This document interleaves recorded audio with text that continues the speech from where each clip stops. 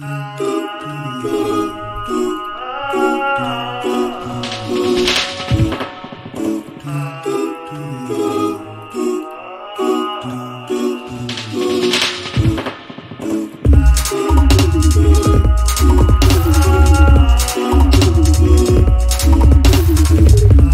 kind of a busy program today.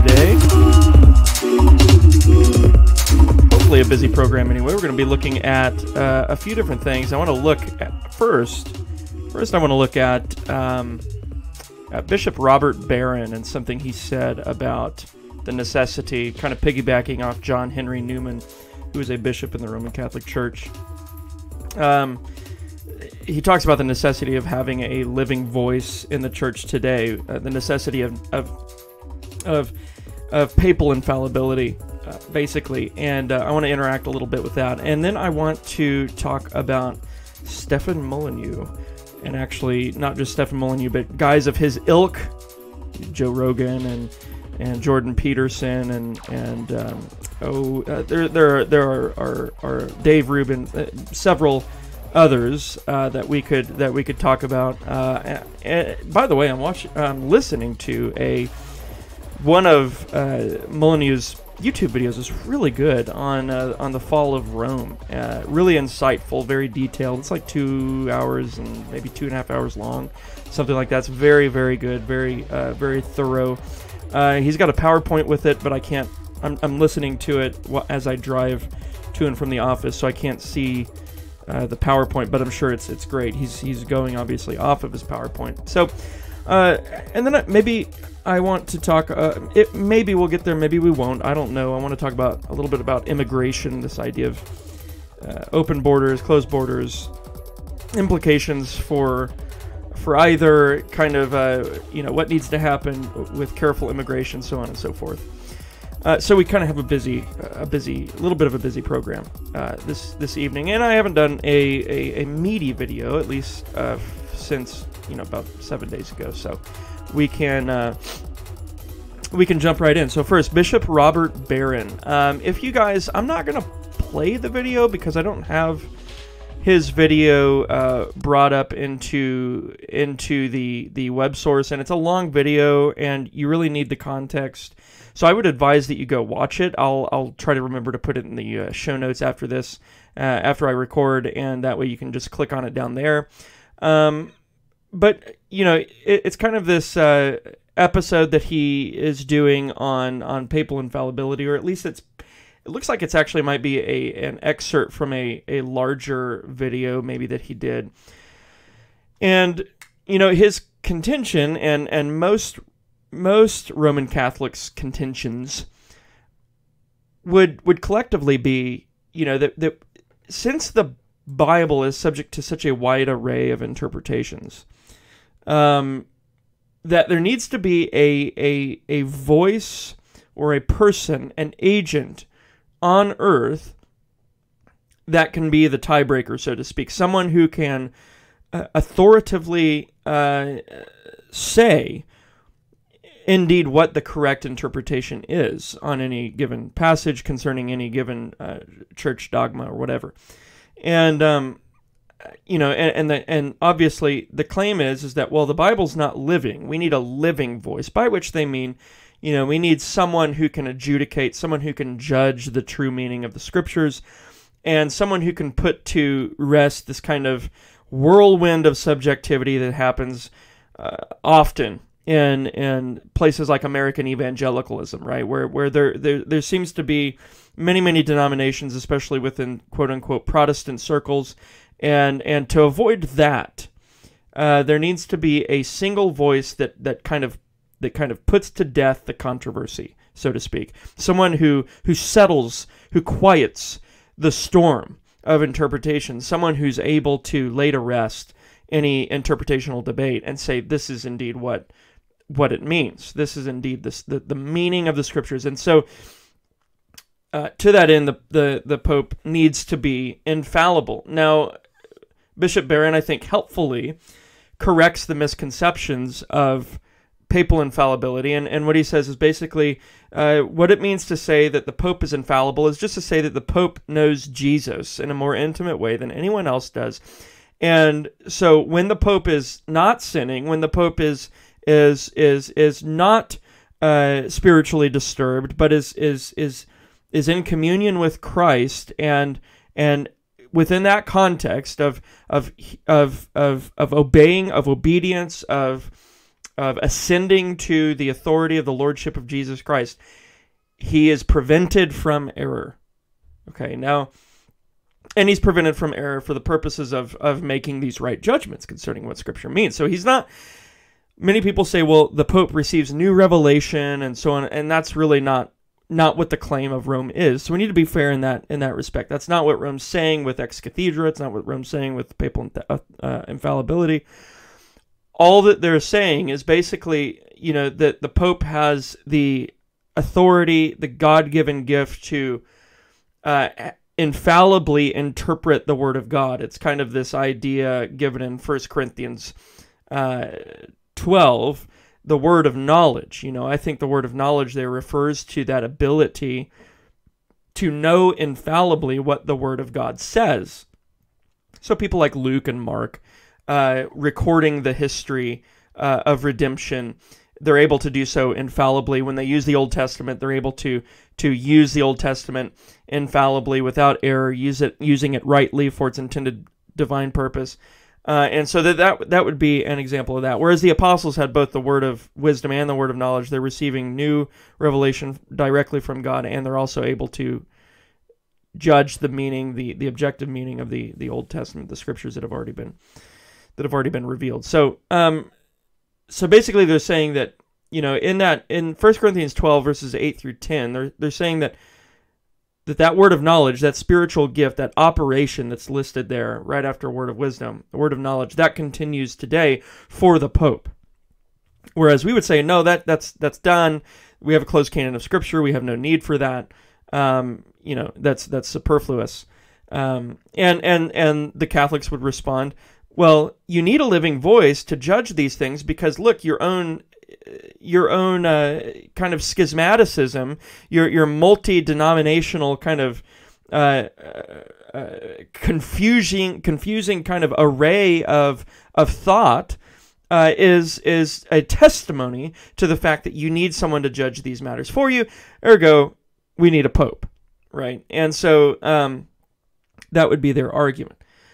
Now, this is problematic. It's problematic that they that they assume in their answer that Bishop Barron, especially, and and John Henry Newman, who who Barron is a disciple of, assumes that the scriptures are dead, uh, or that they're not living, and therefore we need some living voice to interpret the scriptures for us. Now, one of the very important things that that that doesn't carry over into a lot of Protestant thought today, and I think that it should is the analogia fide, or the analogy of faith, which would just basically state the scriptures interpret the scriptures, or the Holy Spirit is the only infallible interpreter of the Holy Scriptures. And the Holy Spirit has spoken chiefly through the scriptures. So we are to interpret the Bible with the Bible, so to speak. And and you might just cap that off by saying, well, the Bible is is living, right? And and so I would counter Bishop Barron by saying, no, the scriptures, they, that is the living voice. That's the living voice of, of the living God. And uh, he would say, well, no, it's just a document. It needs interpreting. And I would counter with scripture itself.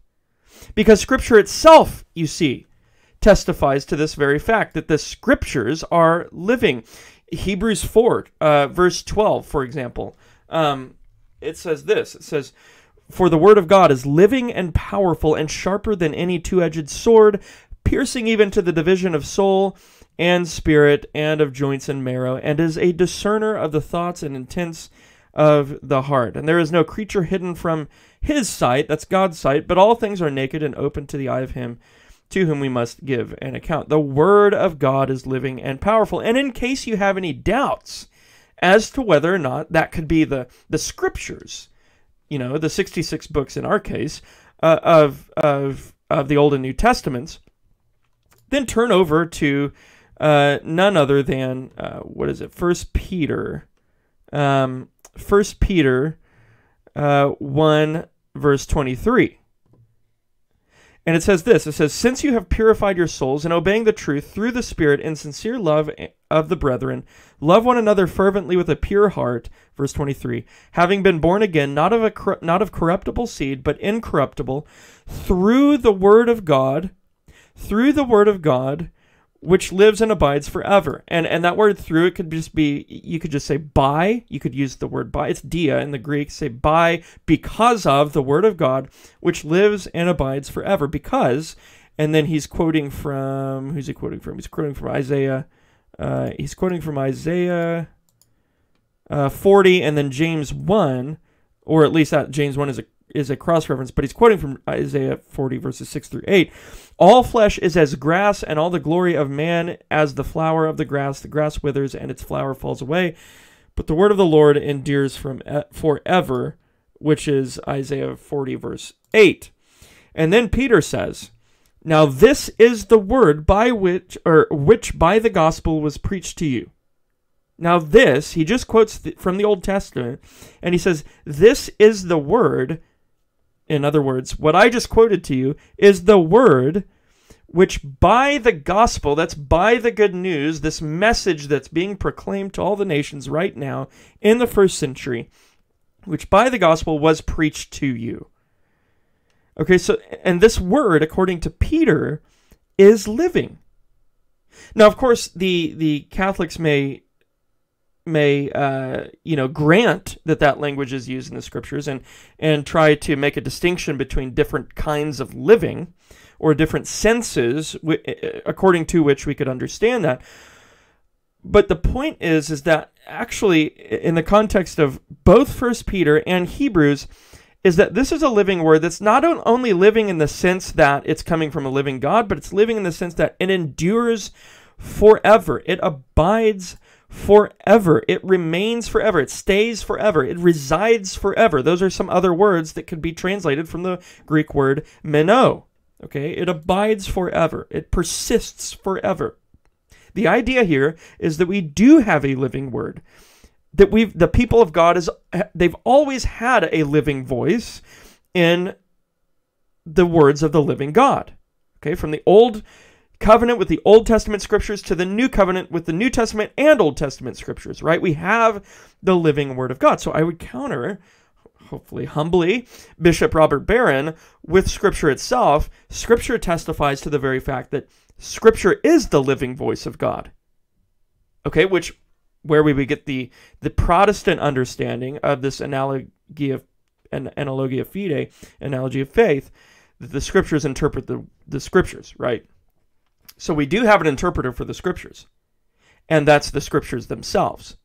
Now, maybe the Roman Catholic might come back, someone like Bishop Barron might come back and say, well, yeah, how do you, how do you know what scripture says in order to interpret the scriptures? Well, the same objection can just be flipped back to him. He's guilty of the same uh, he's guilty of the same problem or the same issue, right? Because even the words, we, we it's just a regress of, of, of needful interpretation because even the words of the Pope then need interpreting, right? Who, who's going to infallibly interpret the Pope once the Pope infallibly interprets the Bible, right? And, and this is part of the reason why there's theologians within the church that have tried to figure out even what popes mean. Okay, so so they're not they're not free from from the difficulty.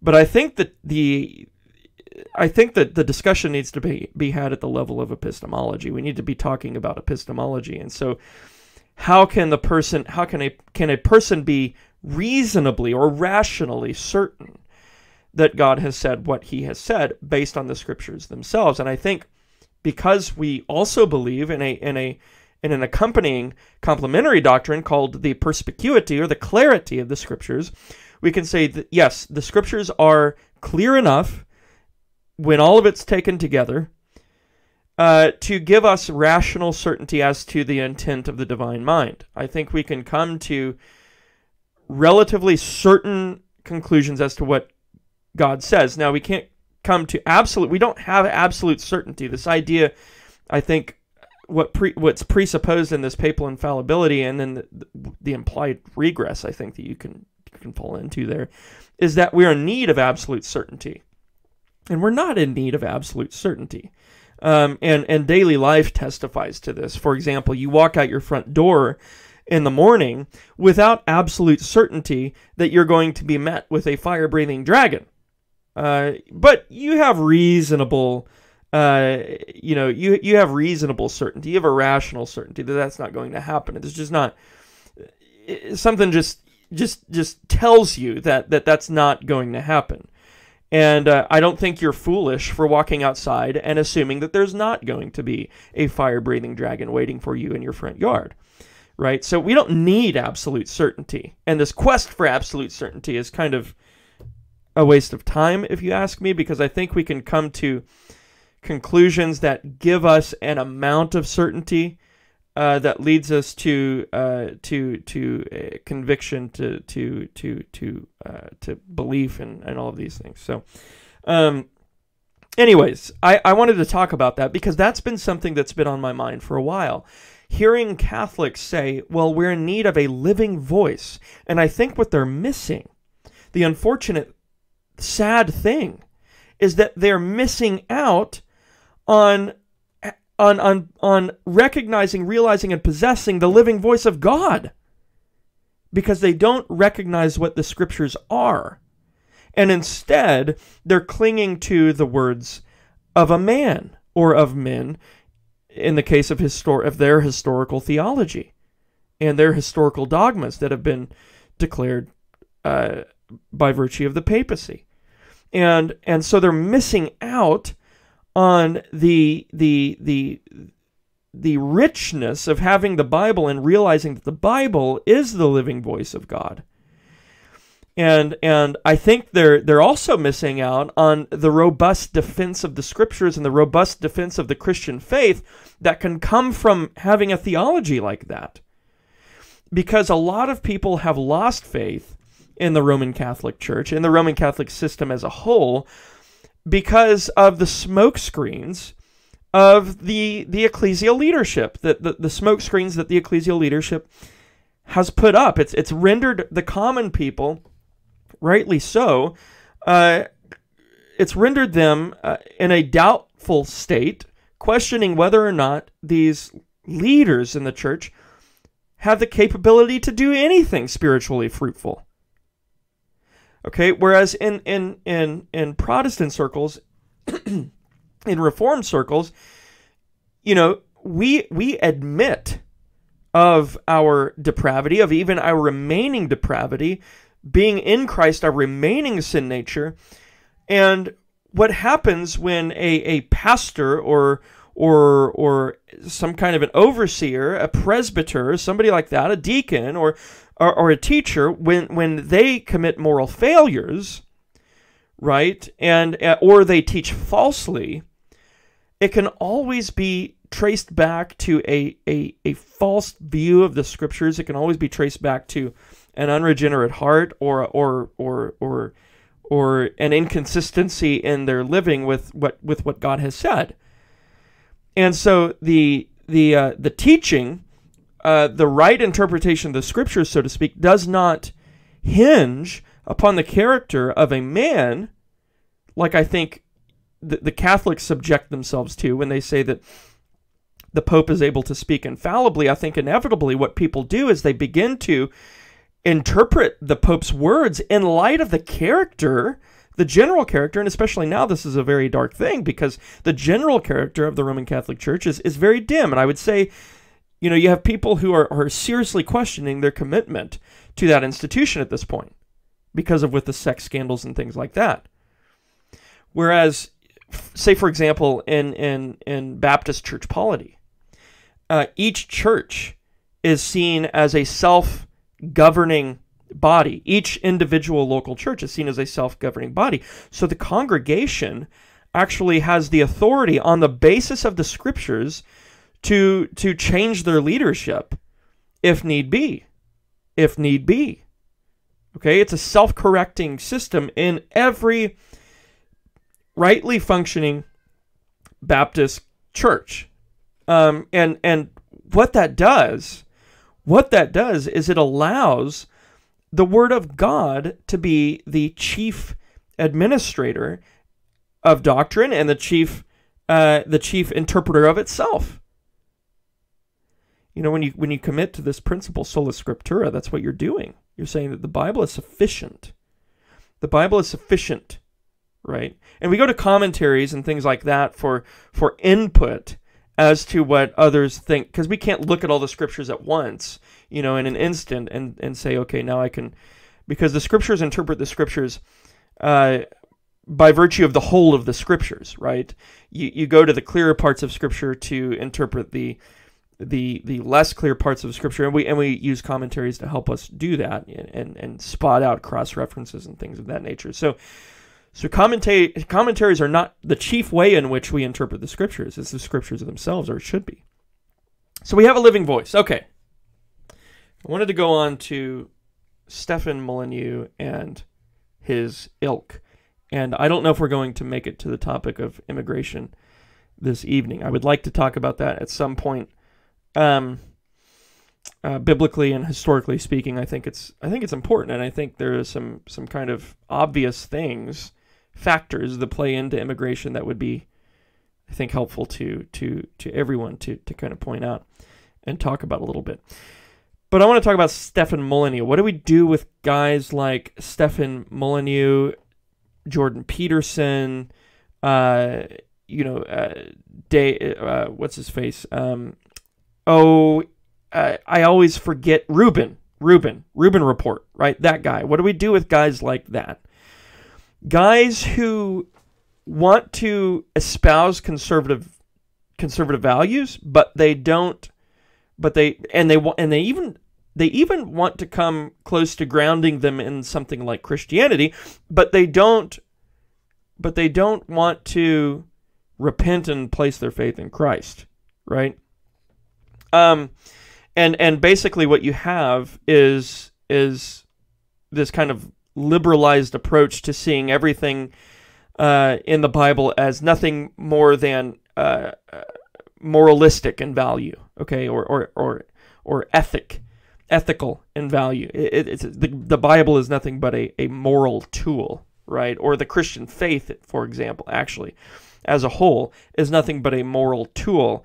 And you get things like that in like the exemplar theory of the atonement, that Jesus was really just the the example, and that's that's primarily the purpose of the gospel account is to present this person Jesus, whether he was an, a real historical person or not, is irrelevant. He's he is an example of how to live rightly in this world and how to live um, uh, in in a in a socially acceptable manner or a or a, a, a morally acceptable manner in, in any society. Um, and and I think what you're getting is is you're just getting that again. So so my first thing is on one hand, I, I don't understand why so many Christians um I don't understand why so many Christians see these guys as being so impressive. Okay, so the, there's a lot of Christians, especially within quote unquote reformed realms, and, and it's just I'll call it pop Christianity, a pop theology. I mean, whatever's cool at the time, it seems to be what goes. Um, so you get a lot of people like going Presbyterian because it's cool to baptize babies, but then that's not cool enough. So you get people going Roman Catholic because Bishop Barron's over here doing this cool thing and he's using using media and all that. And it's it seems really cool. It's like the thing to do. It's more traditional, more it's more old school, you know, kind of old guard. We want to go there. Um, but you know that that kind of mindset has really exalted these guys like Peterson and Molyneux, and and and I don't really understand the draw because there are there are people throughout the history of the church who were actual Christians uh, who didn't just tiptoe in the system, who didn't just uh, play with Christianity, but who embraced it wholeheartedly with the arms of faith. Um, there are men who who have gone before us who, who have said much of the same things in a much better way, in a much more doctrinal uh, doctrinally construed way, I think. Um, and so on one hand, I, I, I don't get the I don't get the draw, especially especially with Christians. I don't understand why Christians are going out to to to to these conferences and things like that where they can see these guys speak and and they're and they're I understand listening to them and and and and learning from them to some extent, but I don't get why you get people saying things like, uh, "Man, these guys, you know, they're basically they're they're heroes to even some in the church. These guys are heroes," and and I don't know why, because they're they're uh, you know they're they're they're pagans essentially, uh, if not just atheists, who see a a strictly moral only uh, advantage to something like the Bible or the Christian system. And so I understand learning from them, right? Because I would read Aristotle or Plato. I read I read Cicero. Okay, so I I learn from from pagans just like the next guy. All right, there's some good things to be said there. You don't throw the baby out with the bathwater. But to exalt these people uh, to a position as if they've said something that's not already been said before in better terms is odd to me. Okay, so that's the first thing. The second thing is I get the allure. I do get it to some extent, okay, because I see the intellectual prowess of someone like Stefan Molyneux. Brilliant thinker, absolutely brilliant. I've never seen anybody be able to just give like four hours of material. It doesn't even look like he's he's not reading a manuscript or anything. The guy can just talk, right? And he can and he's not just it's not just gibberish. It's not just useless uh, bantering. It's it is productive, precise, what seems to be scholarship. And so, but it, not just dry scholarship. He's he's he's relating very uh, lofty ideas and philosophical concepts to things that are going on right now. Right? Some things he's relating language that has, you know, was spoken 2,500 years ago with the pre-Socratics and the Socratics, uh, Plato and Aristotle, and he's relating those things to to the here and now, right? And I think that is that's very valuable. And so I, I get the allure. I get that's why I would I listen to that. I listen to Stefan Molyneux every once in a while. I listen to Jordan Peterson every once in a while. Um, I think they have a a a a, a command not only of the English language, but they have a command of uh, of concepts and relationships that uh, that is is rare in many of today's circles of talking heads. Okay, so you don't get that kind of thing in the news. You don't get that kind of thing on mainstream talk shows. You're not getting that. So a lot of people are going out to these YouTube channels, and they are getting that. They are getting that rich interaction with uh, philosophical and even theological concepts. And so I, I understand that. That's valuable. That's very valuable. And and the thing I appreciate about like the the the uh, the intellectual dark web the most is that they're getting people to to use their brains again. Okay, they're not out proclaiming the gospel, uh, but they are getting people to use their brains again. They're getting gears turning again, and oftentimes when that starts to happen, God will use that as a way of of of drawing people to himself. So, for example, part of the reason the, uh, the Christianity in the first century was so attractive to a lot of uh, a lot of Greek thinkers. I say a lot of Greek thinkers, a, a, a, good number of Greek thinkers. I wouldn't say the majority by any means, but but a good number of Greek thinkers adopted Christianity, were, were, were converts, um, because to some extent what they'd been taught uh, you know what they'd been taught, uh, Platonism, and then and then and then you know a, a more moderate version of that in Aristotle. Th- they are it. Christianity makes sense and and makes makes Plato and Aristotle make more sense, right? Because Plato and Aristotle didn't have a, a an objective grounding for for their systems. So so Christianity was very very attractive to these thinkers. So their gears were already turning. They were already high thinkers, so to speak and Christianity came along, and and to them, epistemically speaking, Christianity was the cap that was needed. It was like the it was like the missing, uh, it, was like the missing stone that completed the structure, right? Um, and and by no means am I saying that that the gospel is dependent on Greek Greek philosophy. That's not what I'm saying. But in terms of their thought process, the the thought process of the first century Greeks and Romans, uh, their their thinking uh, in terms of Plato and Aristotle. And what you have with Christianity is uh, is not a completion of that per se. You have you have logical, rational thinking come into its own. Objective, logical, and rational thinking come into its own with the Christian system. Okay, and that's that's that would make sense if Christ is God who created the world. It would make sense if Christian doctrine uh, made sense, so to speak, with logical or was consistent with logical and rational thought. Um, and it was. A, a, lot of Greeks and Romans thought that way, and and and they they said this this this completes the problems that we've seen in Plato and Aristotle. It it it it opens our eyes to this world and and the god of this world and and and how we are to live in this world right? It provided a solution to ethics. It provided a solution to metaphysics. It provided a solution to, to aesthetics even beauty. It provided a solution to all of these things. And it was totally logical. Okay so god used thinkers right and and and in in in, such a way as to kind of cultivate a a a, a people providentially who would be drawn to something like Christianity. And all of this is in God's providence, Him drawing people to Himself. Okay, it's not a pull yourself up by your bootstraps kind of kind of way of thinking. So so there is a value to to secular thinkers, right? If they are if they are at least hitting the right notes in some areas. And I think that's the case with people like Stefan Molyneux and Jordan Peterson. They're they're hitting the notes, the right notes in some areas.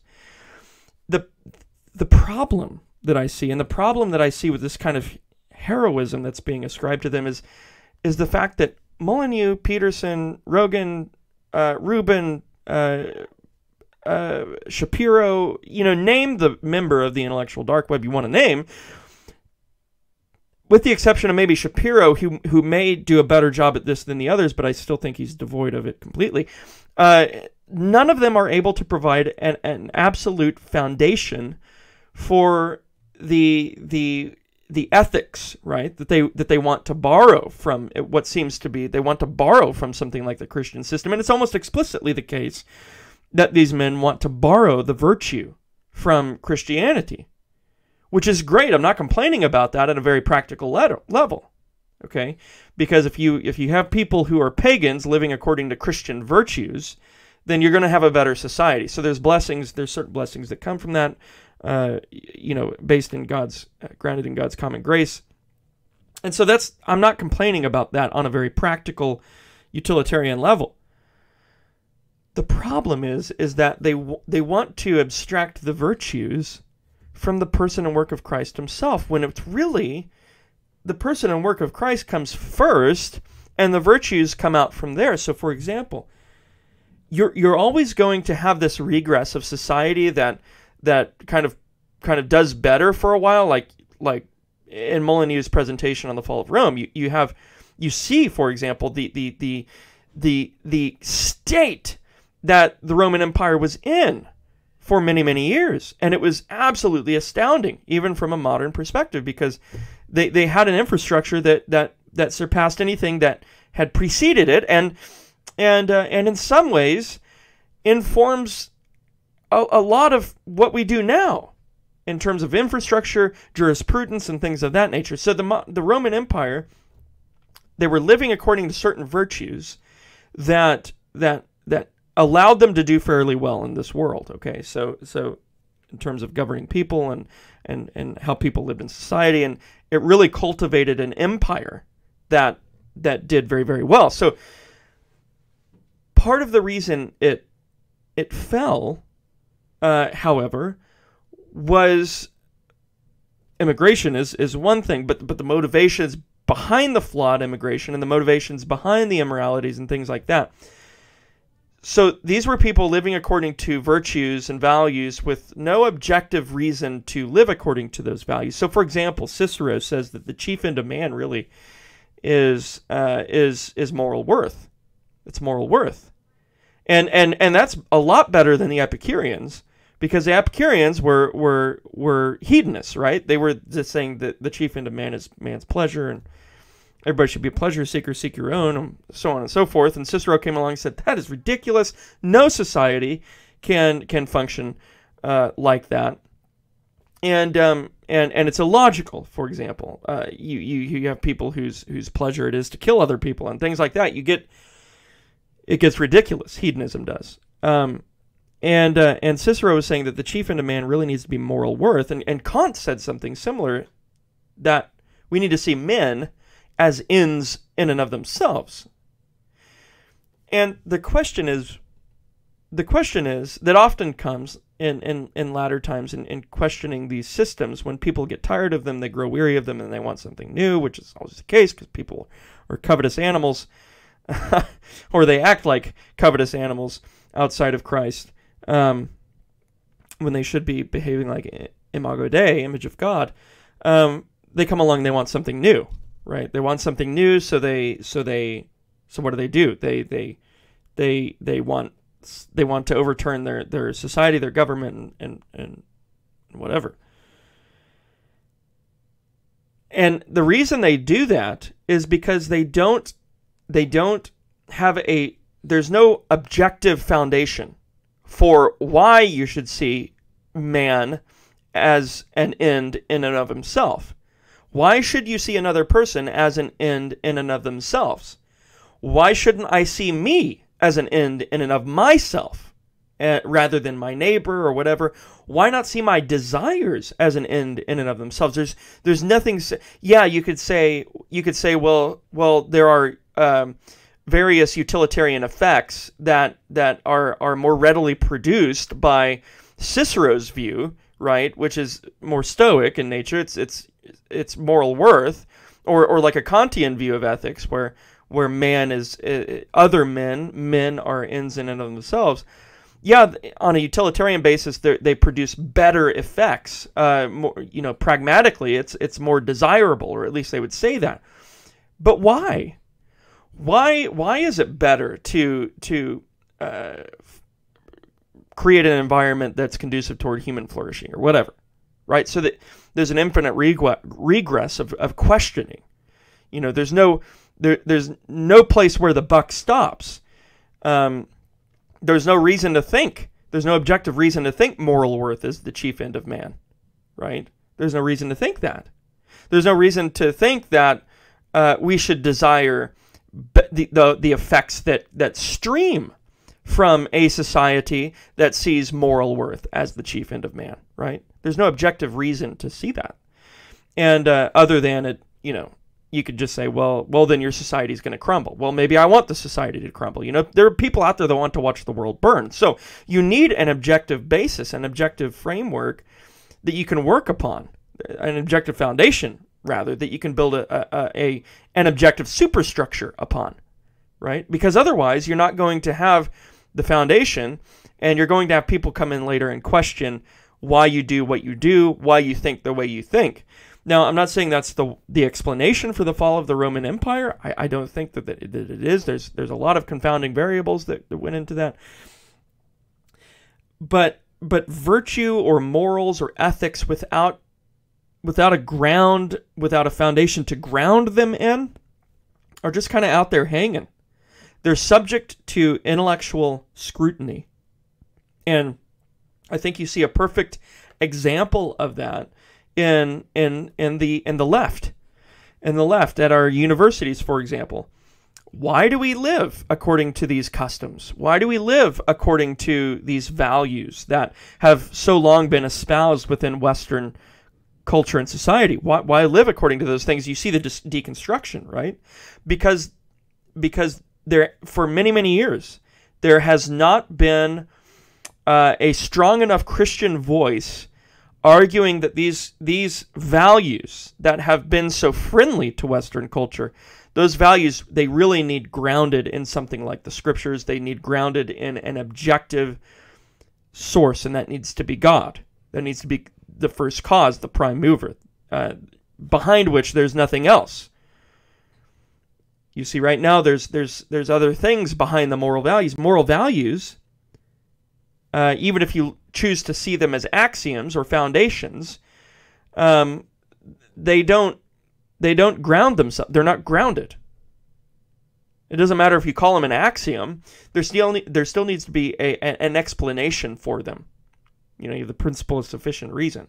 Everything has an explanation. Well, why, you know, explain the uh, the moral values? And what we need is is an explainer that that is able to explain himself that is explained in and of himself and that's god. So the, the regress stops at god. And god has an explanation but his explanation is in and of himself. He doesn't have a cause but he has an explanation and his explanation is god himself. And and so we need that foundation. We need a divine foundation for our morals and, and our virtues. And and the interesting thing is you don't you don't really have that with peterson and and and you don't have that with Molyneux and, and other thinkers within the intellectual dark web. Like I said, Shapiro might be one who you would have to reckon with and disagree on more theological grounds with his position. But um, anyway, so that's one reason. That that the, or that's one observation I want to make. The, the other observation is is it's interesting to me that you get this tinkering with the Christian worldview, and you want you want people to kind of live according to these Christian values and, and you're making it your mission really to, to preach to some extent these Christian values. But you you don't but you don't want to put all your eggs in one basket.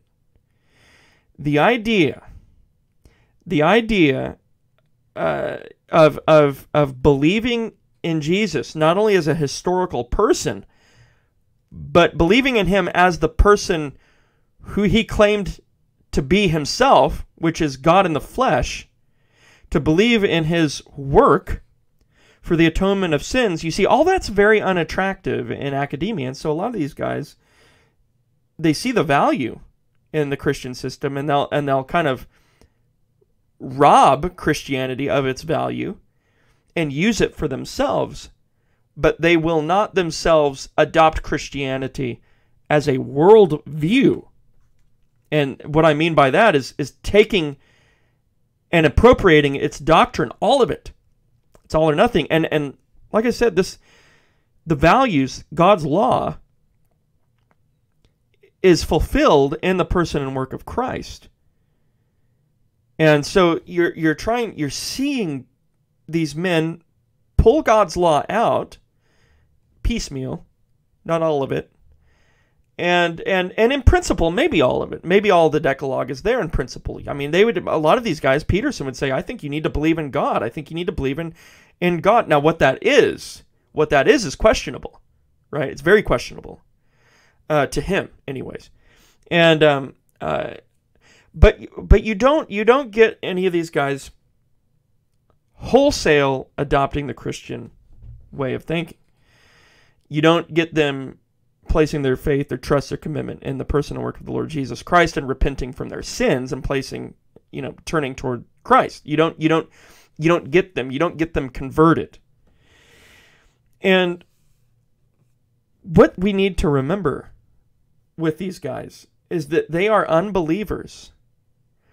Um, they are unbelievers who have abstracted some values out of the Christian system and now they're using them because they see the value in them right? So they themselves might be living according to them, and but their but their hearts aren't changed. Uh, so they're still they're still coming short morally. If there is a God and the God has morals, they've fallen from those morals. They don't live up to those standards. And so they need a reconciler. They need someone who does live up to those standards that can represent them before a just and holy God. And that person is the Lord Jesus Christ. And um, and so what we have to remember, brothers and sisters, Christians who are watching this, we have to remember that it is an act of God, it is a work of God that converts someone. You see, these guys are attracted to Christianity. They're attracted to the values of Christianity. They're attracted to them. They don't want Christ. They want the benefits of the kingdom without the kingdom itself. And so, what this should cause us to re- remember, and, and, and this should remind us that it's, it's a work of God that a man's heart is changed. It doesn't matter how attractive you make Christianity to someone, they'll, they'll, they'll take it apart piecemeal and and they'll appropriate the attractive parts of Christianity to their lives, and they'll live according to them fairly, certain, you know, check the box kind of way, maybe. But but they'll, but they'll benefit from them. They'll they'll get the blessings, or at least some of the blessings. But they won't get the chief blessings. They won't get union with Christ, right? Because they they they have not reached out and grasped a righteous declaration by the fingers of faith. And until they do that, they will never be declared righteous before God. Right? They will never be in union with Christ. They will never be partakers of the new covenant. And and so all of their work, all of their desire to make society better and kind of rekindle Western society and, and, and, and recover it and preserve it, all of it is futile. All of it is futile because really, 40, 50 years from now, all those guys are going to be dead. And, and the next generation, the generation they're fighting for, and in 100, 120 years, those guys are going to be dead too. And the next generation, dead. Next generation, dead. For what? All for what? If it's not of eternal significance, then for what? Right? And that's why nihilism, this kind of idea that life is meaningless, became so popular among atheists, and I think is the only consistent atheistic position that life is meaningless. Right? So if they can't anchor those values that they want to preach, that they want to teach in these universities, which I'm appreciative for, if they can't anchor them in God, in the Almighty God of the Bible, if they can't anchor them in Christ, then eventually we're going to have a generation come along and say, well, these values aren't anchored anywhere. And so nihilism. And on goes the cycle, right? On goes the cycle. Rise, fall, rise, fall, rise, fall. Rome rises, Rome falls. You know, um, Britain rises, uh, the United Kingdom rises, it falls. The United States, it rose, it's in the process of falling. Because we can't ground our values in the Almighty God of the Scriptures.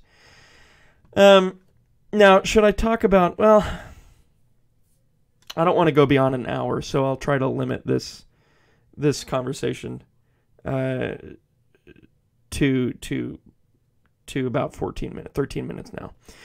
Immigration. Immigration. I think it's a valuable discussion to have, and, and what piqued my interest was listening to Stefan Molyneux's presentation on, on the fall of Rome, the truth about the fall of Rome, I think is what it's called on his YouTube channel.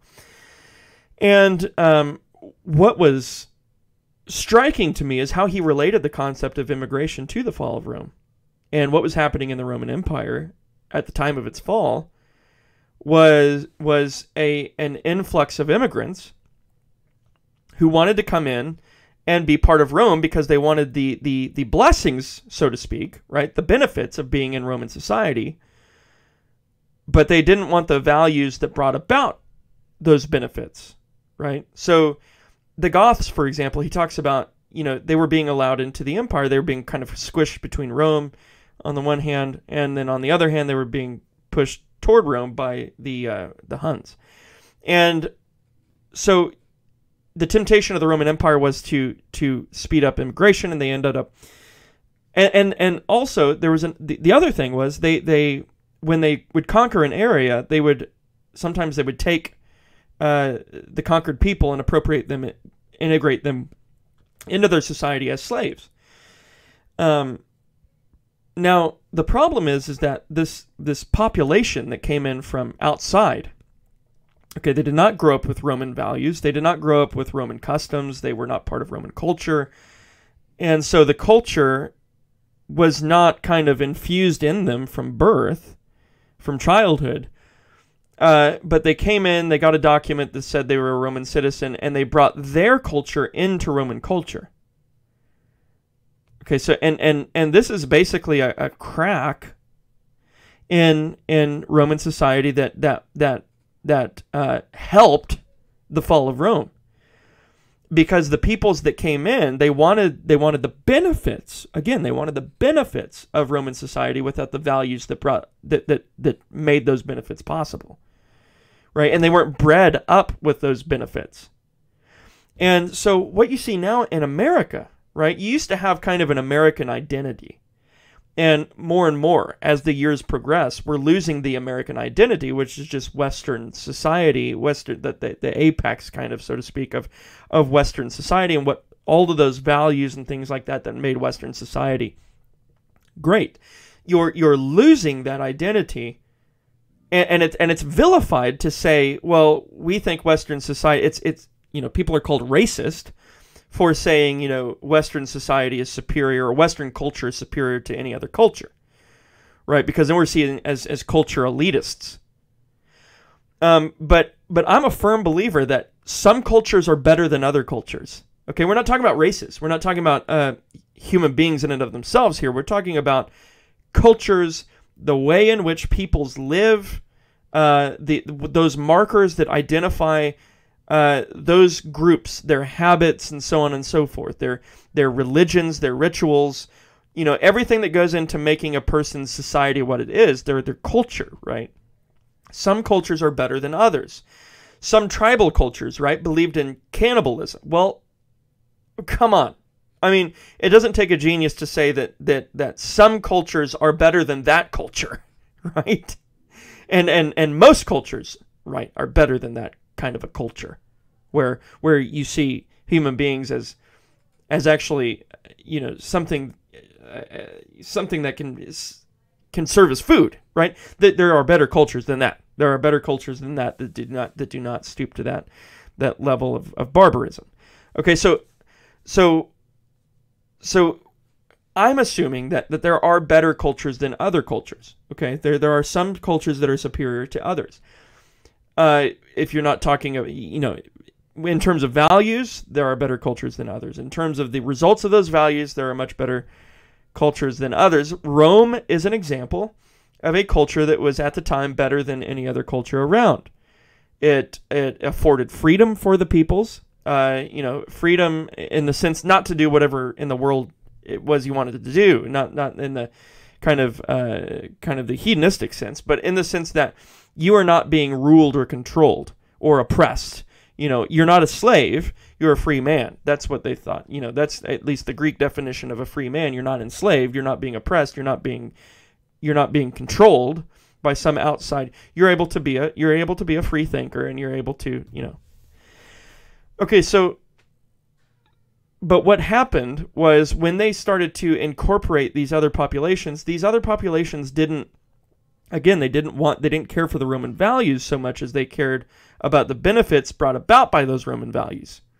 And what you see now in America is largely the same thing. You have people that come in and they don't assimilate to American societies because they're not expected to assimilate. And what you have are things like Dearborn, uh, Illinois. I think it's Illinois. Is it Illinois? Or or is it uh, uh, I can't remember. Dearborn, um, Michigan. It's Dearborn, Michigan, right?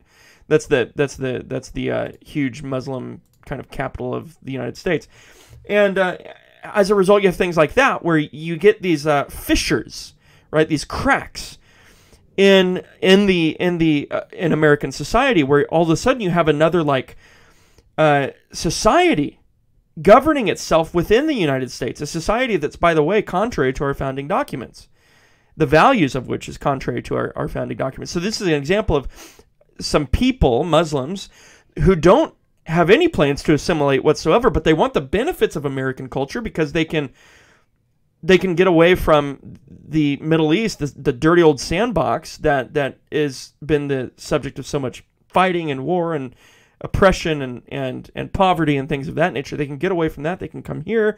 They can start businesses, so on and so forth. But they don't want to relinquish their values, which, by the way, are contrary to the values that made America what it is. Okay, so you know this is this is a very controversial discussion, um, and and and I and I want to acknowledge that. But what I'm saying is that there are there the proof is in the pudding. There are better cultures than others, uh, and and and cultures that that are founded upon biblical values are better cultures than others. And even in a utilitarian sense, society is typically better in even a pragmatic sense when it espouses biblical virtues, biblical, uh, biblical, uh, uh, biblical values, a, a society is better off than one that does not. Okay, so when the culture is is uh, kind of growing out of organically biblical values, then you have a better culture. I don't know any Christian that would deny that. You have a there there are, there are some cultures that are better than others, and those cultures that are better than others are those cultures which have grown out of, right? Basically, for the most part, biblical values. The values the value system gives rise to the benefits of the of the society, the culture. Okay, and and so I don't think it's unfair to say there are some cultures that are better than others. And I think what you're seeing in the in the United States now is you're seeing people come in, populations come in that refuse biblical values, they keep their own values, and they refuse to assimilate, yet they're wanting the benefits that are brought about by those biblical values and only by those biblical values. And you had the same thing in Rome. And that was one of the contributing factors to the fall of Rome. And so, in this debate between like, should we have open borders or closed borders or whatever, that's probably the wrong question to be asking. Well, no, I don't think it's the wrong question to be asking. I think it's a productive question with some with some good answers.